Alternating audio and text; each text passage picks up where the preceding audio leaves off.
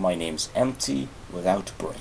This will be a continuation of my recent response video, which will be hitting upon more sensitive issues regarding Shawn's recent responses to people portraying him as a supporter of the Holocaust. The content of this video will also involve a lot of swearing, so if you're offended, I really don't care.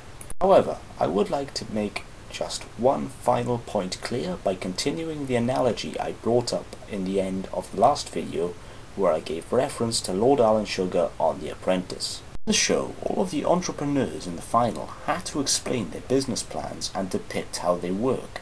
They needed to explain their methodology and give references to its previous success and how it would work with more support. In the debate, I described a humanist secular society giving reference to an atheist worldview as a vision where I stated how everyone's equality can be promoted through the human rights, acting as a guide to help build cooperation. I explained how the study of ethics can evaluate the proposed values and decisions through public spheres to determine its impact upon society as a whole. My arguments explain the importance of values and how they could be supported by creating principles and laws. For example, by making murder illegal promotes the value of life. With a person being alive, they can do more to cooperate and provide services to help and aid people in a society. For example, the National Health Service in the United Kingdom provides aid to children suffering from illnesses such as cancer, leukemia, meningitis, and more.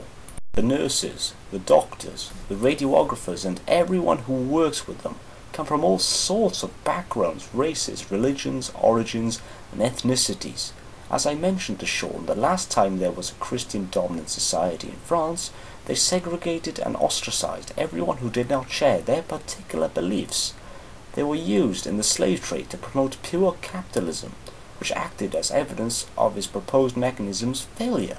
I used this argument in the debate. However, Shawn called this an ad hominem attack. Here is the definition of ad hominem for you, Shawn.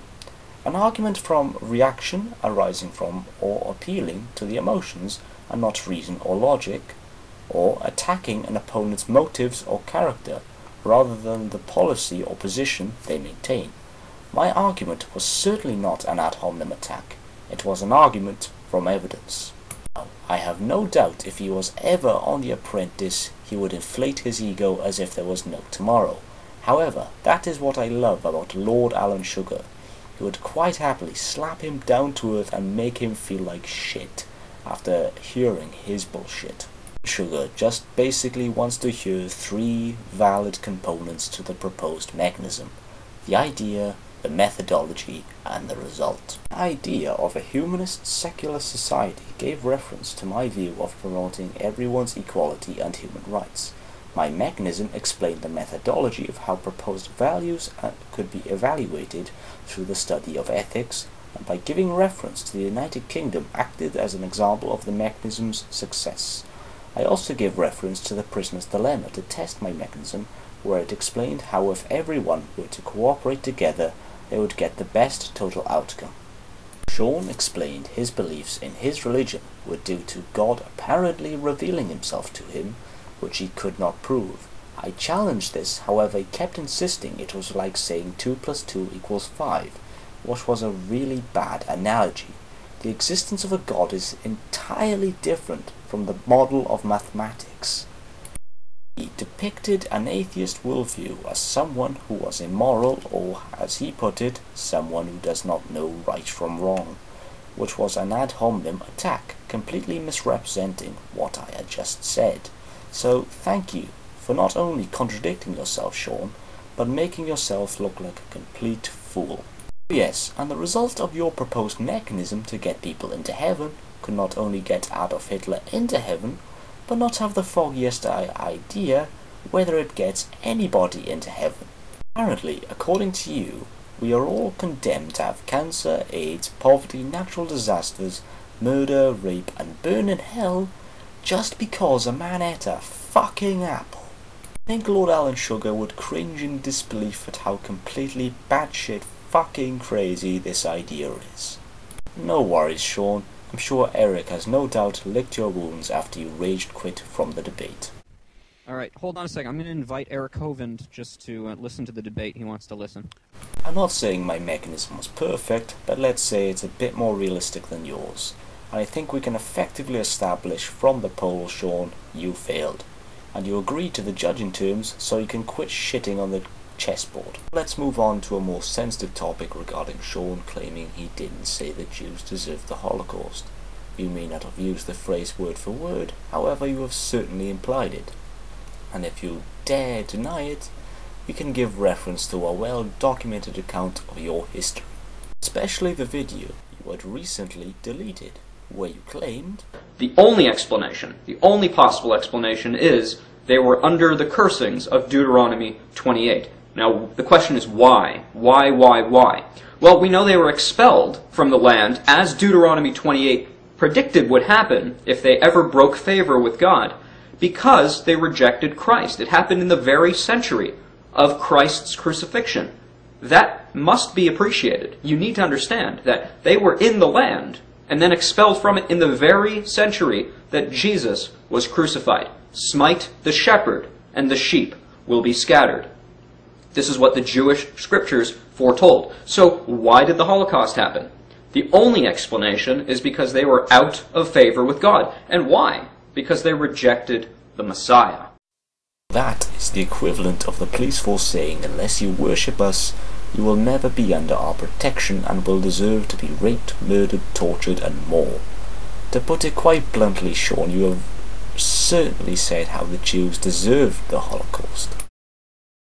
He then moves on to what atheists deserve. This is, of course, the activity of atheists. It's not that they're concerned that I said Jews deserve the Holocaust, because I never said that. So that's not what they're upset about. What they're upset about is I'm a Christian, and they hate God. They hate the gospel, and they hate Christians, which is, of course, what the Bible said. And so, let's stop talking about what the Jews deserve, and let's now talk about what the atheists deserve. The Bible says, All have sinned and fallen short of the glory of God, and the wages of sin is death. Atheists and all of humanity deserve to die and go to hell for their sins against God. And there is no name under heaven by which man must be saved other than Jesus Christ. Anyone, Jew or Gentile, who rejects Jesus Christ will come under the cursings of God, both in this life, but more specifically, in the hereafter. You will go to hell when you die. That is what you deserve. And so, I implore you, please, implore you, please put your faith in Jesus Christ, or you will suffer the wrath of God. And the wrath of God, quite distinct from the wrath of man, will make the Holocaust and the tortures and injustices that the Jews suffered seem like child's play compared to the fate that awaits you if you have sinned against the eternal and holy God of the universe. And so, put your faith in Jesus Christ. Stop slandering him. Stop slandering Christians. Stop frustrating the purposes of God, or you will suffer precisely what you deserve. As you have just heard, Shawn believes all atheists hate Christians. Well, I can tell you now, Shawn. I do not speak for all atheists, however, I can certainly tell you it isn't Christians I hate, but reckless, spineless fuckwits who feel they can impose their way of life above everyone else's and not give two thoughts for opposing views. For example, you. It's not because you're a Christian, but because you're an obnoxious asshole. In his next statement, he described how hell would make the Holocaust look like child's play. Apparently, he has weighed up and compared the terrors the victims of the Holocaust had endured in the gas chambers and concentration camps to his small-minded view of hell. And he dares to call the Holocaust child's play. Shawn, you have not even stubbed your toe by comparison to the vast majority of people you have encountered in your life, let alone the people who have suffered from the Holocaust. So to make such a retarded statement, like you know how pain feels, I can make an accurate comparison really does demonstrate how much of an insensitive, spineless little fuckwit you are. And you have the downright nerve to call atheists immoral? Are you fucking kidding me? But I was reassured to hear how you no longer have control of the content you portray on your YouTube channel. I was informed of this by NicolSD. Make sure to subscribe to him, he makes really interesting videos. I was once in support of you being removed from their campaign, but the thought of someone keeping you muzzled and restrained from saying what you want really does make me feel much better. Jews for Jesus officially have you on a leash. You now merely act as a powerless puppet that only gets to say what they want you to say, whether you agree with it or not. Otherwise, well, you're back to working in the bingo hall. So, either way, you lose.